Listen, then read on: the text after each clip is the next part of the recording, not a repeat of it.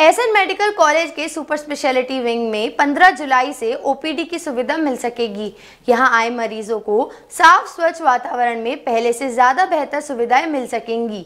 यहाँ विशेषज्ञ चिकित्सक मरीजों को परामर्श देंगे। दूसरे चरण में हार्ट और कैंसर सर्जरी की सुविधाएँ भी शुरू कर दी जाएँगी। एसएन मेडिकल कॉलेज में लगभग 200 करोड़ रुपए से स्पेशलिटी विंग तैयार की गई है। 25 विशेषज्ञ चिकित्सक टीएम और एमसीएच तैनात किए गए हैं। एसएन मेडिकल कॉलेज के प्राचार्य डॉक्टर प्रशांत गुप्ता ने बताया कि 15 जुलाई से सुपर स्पेशलिटी विंग में ओपीडी शुरू कर दी जाएगी। सामान्य ओपीडी से रेफर मरीजों को सुपर स्पेशलिटी विंग में डॉक्टर परामर्श देंगे।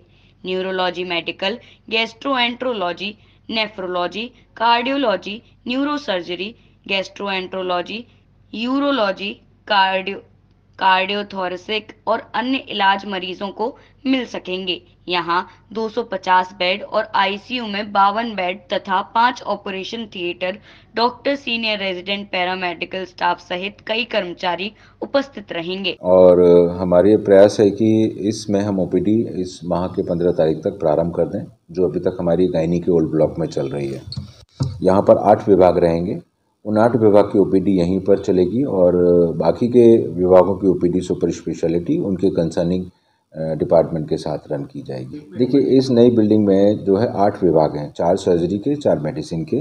Gastro surgery, uro surgery nephro uro surgery, neuro surgery और कार्डियोथोरेसिक सर्जरी। मेडिसिन में नेफ्रोलॉजी, गैस्ट्रोएंट्रोलॉजी, न्यूरोलॉजी और कार्डियोलॉजी, ये आठ विभाग का डिपार्टमेंट यहाँ इस बिल्डिंग में बनकर तैयार हुआ है। डीजी महाराजा न्यूज़ के लिए राशिद हुसैन की रिपोर्ट।